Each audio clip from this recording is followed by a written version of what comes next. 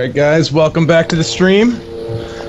Uh, we've got Average Joe's versus SMW in the opening round for the North American Verdun Championships. Uh, for those of you that don't know, Verdun is a World War I shooter uh, based on the uh, meticulous movements of a uh, world of, of trench warfare, and it is an absolute blast. Uh, we've got some of the best players in the world lined up here. Uh, Soren, why don't you give us a breakdown a little bit on the uh, on the teams we can expect to see today? So, uh, looking on the SMW side, uh, some standout players to look out for. Uh, definitely, CPU is a player who's very strong, um, who's shown some very good skill at certain times. He's kind of an inconsistent player. Some games he'll he'll not do too well, and then other games he'll do very very well. So it'll be interesting to see how he does today. Arcana is definitely another player who uh, has shown some decent skill in the past. Um, we have some new uh, standing players for these people. Funk, I don't think is a player I've seen play for them before. Um, Monica Novak has played for them a few times before, but has never really been a huge standout player. Uh, Banshee is a is a pretty strong South American player playing for them. On the Angry Joe's side, or not Angry Joe's, sorry, uh, Average Joe's side, we're gonna have uh, some of the standout players. This is mostly a team of like sort of pub players or average Joes, as you might expect. Not any particularly strong competitive players, but definitely some stronger uh, pub players. We're going to be looking at players like Ironstorm and Neil to uh, to be the the bigger players for this. Uh, some veteran players who've been around a long time but haven't really played at all in competitive, or players like Big Alute. Uh, keep an eye on him. He's been around for a long time. Be interesting to see how he does. I, I don't think don't think I've seen him play competitively before, so it'll be interesting to see how that goes for him. Um, but overall, personally, I would I would probably give the favor to the SMW side. They're a bit more experienced in competitive play, uh, having played uh, in the recent VCL. Uh, most of their players played for uh, played for SOTG in that competition, so it'll be interesting to see how the match goes out. The map is going to be Artois, which it's important to note that Artois is a slightly um, uh, German-sided map, so the Central Powers will have a slight advantage on these opening trenches. No, the map is the match is uh, just a quick note, guys. The match is not live right now. We're still waiting for a seventh player to join for SMW. The captains, team captains, have agreed to play 77 as both are down a player. We're just waiting on that seventh player for SMW, and as soon as they join, we're going to get the match started.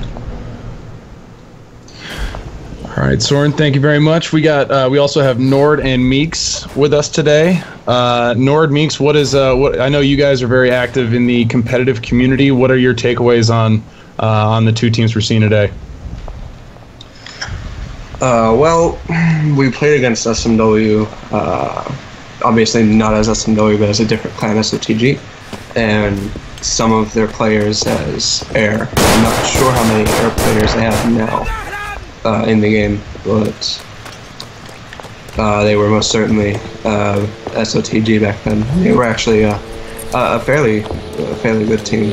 Um, I believe a majority of that team came from the remnants of the, the, the Latin American team that we had back in the ANC, and that was the American Nations Cup. For anyone who doesn't know, when we had uh, regional teams, so we had an American team, a Canadian team, and a, a Latin American team all play against each other. It was a nice little tournament, and that's basically the what the team is now.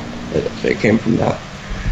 Um, I, it's hard to say because a lot of the players on Average Joe's are players that we've we, we've met them in pubs. And we, we we've played with almost all the people here, but it's hard to say how they'll perform competitively. So.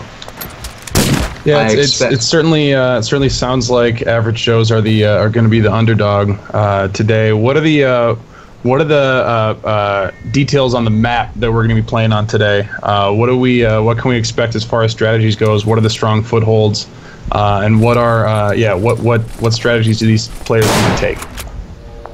Well, I would expect. Well, the thing is, Artois is a very um, it's a very competitive map in the sense that a lot of players like playing it when you're playing competitive 8v8. Um, I think you'll find that it'll be very easy for the players on both sides to get into the enemy trench. So um, I believe many of the uh, tenser moments in the game are going to come down to uh, uh, more footholds trying to get people out of the trench.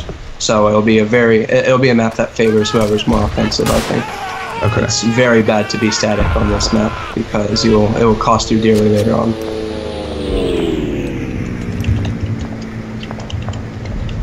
And uh, and Meeks, what uh, what uh, uh, what is your, what is your experience with the teams we're playing today? Have you got you guys are both on pest control? Is that correct? Yes, both Meeks and Nord are on pest control. Okay. So just real quickly, is Meeks actually here or I think he's gotten to warm up. okay? We are down to Meeks Um, at the moment. Meeks might not be here at the moment, but yeah, uh, we're both on pest controller. We've both Okay. played with both of these teams. Meeks played against SOTG, but with Air uh, back in the VCL. Um, however, as I said, I don't think any of the players currently on the SMW lineup are uh, uh, former Air players. I think these are all players who are. Uh, uh, I know they Latin have. America. I know they have. I know they have uh, players on their roster, but they're not running any of them right now. Yeah. It So- looks like they might be having some manpower issues, but it looks like we are going to be live Yeah. on restart according Yeah. to. Yep. So it is going to be a seven v seven match for this first match. Unfortunately, neither team could field eight players, but we do have a fair match, so it should be interesting to see how it goes down.